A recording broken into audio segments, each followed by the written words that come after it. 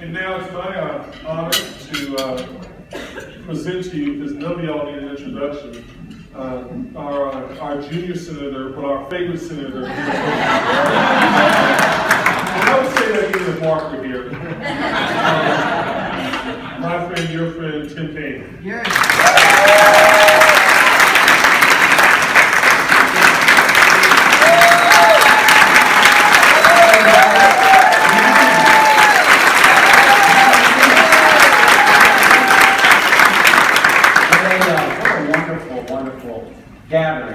8 a.m. Saturday meetings much. But for you, I'll do one.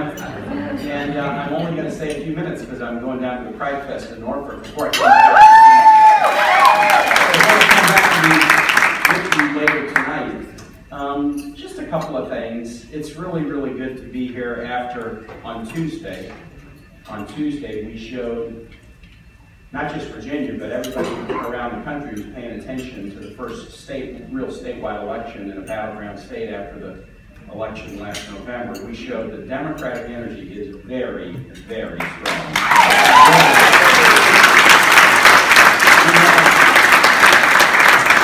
We have great progressive candidates running, an embarrassment of riches to choose from. There were folks that were trying kind of from the outside press and others to kind of di- divide it and make it seem like the Dems had a big intra-party battle. Well, we knew we had progressive candidates to choose from. We knew we were going to be fine however it came out.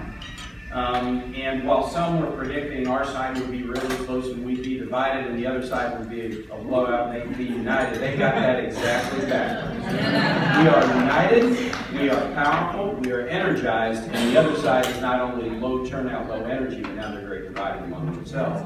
Nothing to take for granted, obviously, between now and November. We got to redouble and elect progressive folks in, and if we do, we'll have our own state in the right hands, but we'll also send a really powerful message about who Virginia is and about likely momentum going into next year. And I'm mildly interested in 2018.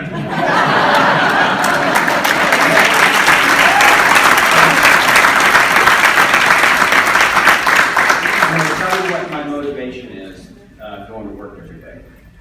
Um, I've told this story to some, but maybe not to all. And if you've heard it, forgive me, but it's on my mind every day.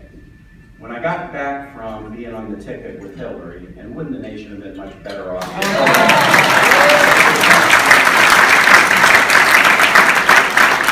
got back from being on the ticket a couple of days after I was in the Senate, one week after election day, putting in bills and working hard. And I got a letter from a little school child in Charlottesville. Penelope was her name, fourth grader, and she said, "Dear Senator Kaine, I'm really sorry you're not vice president.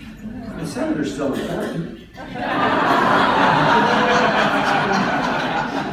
Can you help stop my classmates from being deported?" So I'm like, "Wow, this is what a fourth grader's got to worry about now."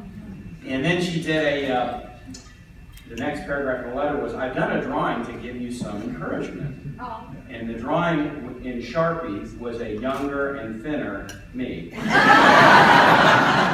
with more hair. Uh, in a suit with a little, you know, like the Senate pin on, lapel. She paid attention to the details. She put a cape on it with a T. And then, and then she wrote over the top, be the hero.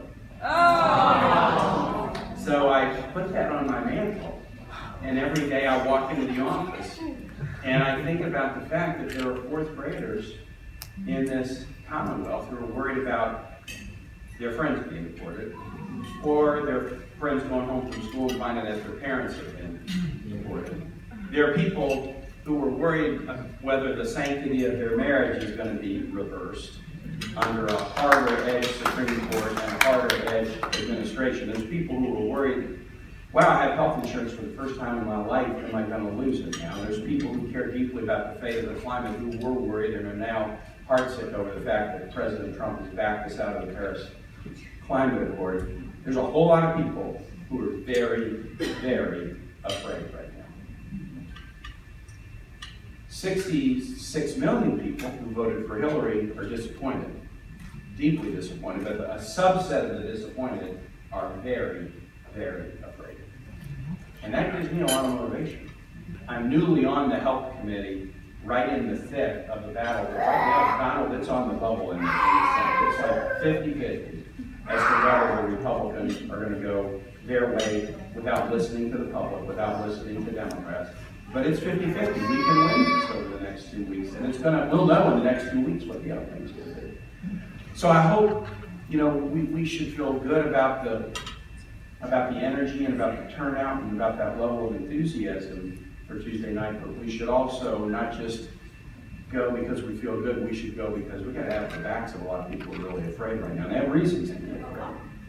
Um, this this caucus of the Virginia Democratic Party has been a real source of pride, watching it grow, watching it thrive, watching these breakfasts get larger and larger.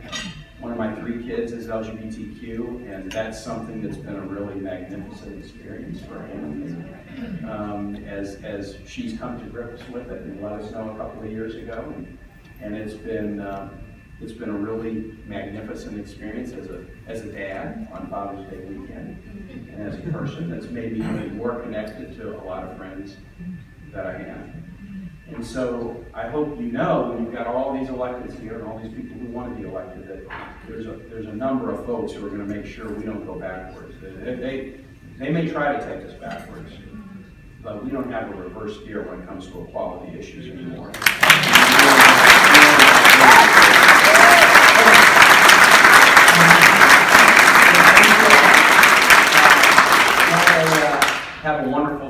We, I will dress up before you next see me at, uh, dinner. But we're looking forward to a great day celebrating Virginia Democrats and the, and the progress we're making, and you've been a huge part of it. So go get them.